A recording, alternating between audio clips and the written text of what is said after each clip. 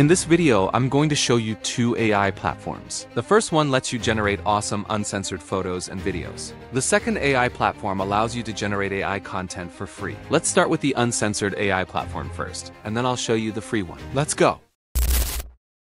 To start creating uncensored AI photos, you need to go to the text to image section. There's also an image to video section available where you can turn uncensored photos into videos. Let's first take a look at how the uncensored photo feature works. Before I start demonstrating photo generation, I want to explain why I use the master plan and what advantages it offers. The master plan allows you to generate any photos without limits and perform any manipulations with them, also without limits. You also get 9,000 credits for video generation, and with the most efficient video model, you can create up to 1,500 videos per month. I'll explain more details next. The link to this AI platform is in the description and pinned in the comments. There's also a link in the description to a private Telegram group where you can see how uncensored photo and video generation works.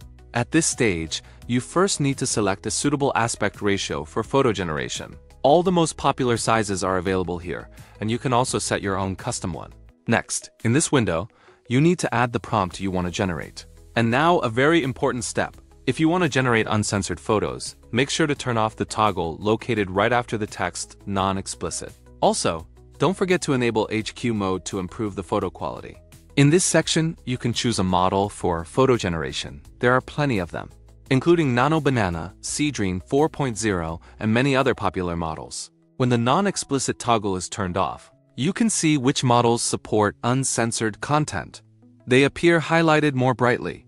Here's an example of a photo generation using the Giant General model. The photos turned out very high quality, and the model followed the prompt perfectly. Now, let's take a look at how the uncensored video generation works. Also, don't forget that below the generated photos there are many different functions you can apply, including the Enhance feature, which allows you to improve the photo quality.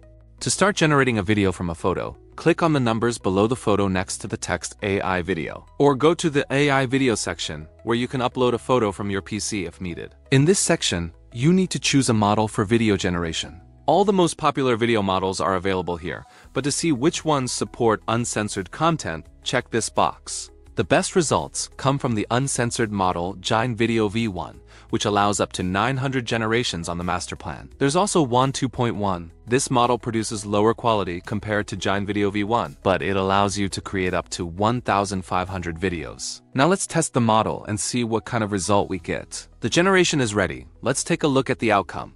Guys, the model handled the task perfectly and delivered an amazing result.